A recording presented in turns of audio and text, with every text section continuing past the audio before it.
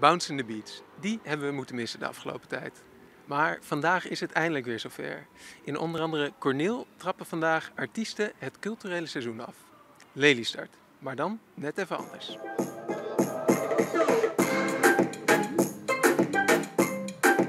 Anders dan voorgaande jaren biedt Lelystart dit jaar geen ruimte voor 10.000 bezoekers. Nee, cultuurliefhebbers moeten het doen met een aangepast programma. En dat is ook voor de organisatie best even wennen. Vanavond is een, uh, voor ons ook heel spannend een uitprobeersel Dancing on Your Seat. We hebben vier verschillende shows van uh, nieuwe dansconcepten. Dans en dance, um, die we een uur lang um, elke show gaan uitproberen. Dans en dance on your seat. Dat moet je me uitleggen. Dat is uh, de grootste uitdaging van de avond. Het is uh, vanwege corona en de beperkingen nog steeds verplicht om te zitten. Waardoor natuurlijk danceavonden ja, bijna niet te doen zijn. Maar we zijn toch altijd aan het zoeken naar alle grenzen en wat is er dan wel mogelijk. En hoe kunnen we de DJ's ook een plek geven. Ja, want zoals bekend hebben artiesten het zwaar. Ja, weinig boekingen.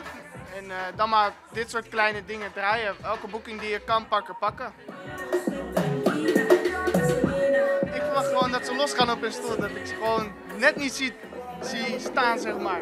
Dat verwacht ik. Maar het experiment begint met vooral lege stoelen en een publiek dat het zitten dansen nog even aanziet. Ik uh, ben echt een hark, dus dat gaat het nu worden. uh, nou, even wennen denk ik. Uh, hij is net begonnen, dus... En wennen is het. Maar de organisatie meldt dat toen wij al lang naar bed waren, het alsnog losging.